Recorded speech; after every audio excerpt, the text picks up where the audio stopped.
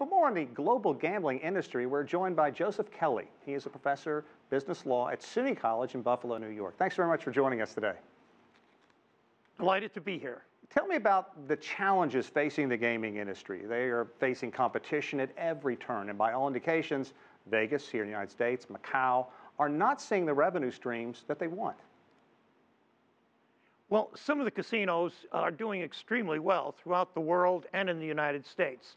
You have to keep in mind that one major problem of Macau was the crackdown on money laundering by the government of China because M Macau is associated with one type of gambling, baccarat, mm -hmm. and big money is being played. And when the Chinese government cracked down on some of the unusual methods for people to finance the playing, it had a negative effect. And Atlantic City, of course, um, and Mississippi, a, yeah. uh, Caesars Casino in Tunica closed. Certain casinos have closed, but we still have casinos in about 39 states, and the number is growing. Massachusetts will be adding two very high-class casinos and join the 39 states. But the one thing I think, besides diversification, that really could save New Jersey gambling is the legalization of sports betting.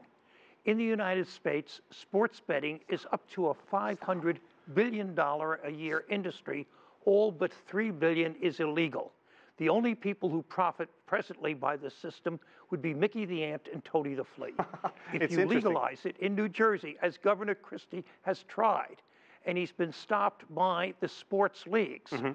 Well, we, we recently had the NBA commissioner come out and say he is supportive of that, so that, that yes. could be changing. To shift gears a little, a little bit, it, I had a gaming executive tell me one time that gamblers in Vegas and to a lesser degree Atlantic City, they're different than uh, the people who, you know, they come, they, they go to shows, they shop, they get out. But in Macau, they say it's pretty much straight gambling. People get off planes, go for it. Straight baccarat. So, so what's, what's the difference? And, Walk us through it. Well, um, Genting, which um, uh, had hoped to establish a huge multi-billion dollar casino in uh, Orange County, New York, but was not chosen as one of the three, wanted to see if they could bring the wealthy Chinese gambler, the person who plays a $500 a hand game, as opposed to the $5 player, to Orange County. And it would really bring in tremendous revenue. And I think he was correct. But you have to keep in mind that gambling is proliferating mm -hmm. not, uh, throughout Asia. Macau was always a sin spot. But of course, you have Singapore, Malaysia, and the Philippines now. And there's a very good chance that Japan might be legalizing casinos, an extremely good chance. And um, the Japanese prime minister has said that he's very much in favor of it. So there might be very few spots in Asia where you don't have gambling. You know, you, and you, the idea is you touched upon something that I want, to, I want to bring out. I hate to cut you off there, but you talked about the anti-corruption campaign going on in China. How has that affected the industry? Bring our international audience up to date about the prosecutions. Well, okay, the, it, it's the anti-corruption campaign that's going on in Macau, where China is saying, we want to stop the money laundering that seems to take place in Macau. China has almost no legal gambling. Uh, right. So therefore, the Chinese have to go to Vietnam or Macau, or, and the Chinese hate this, they go to casinos in North Korea.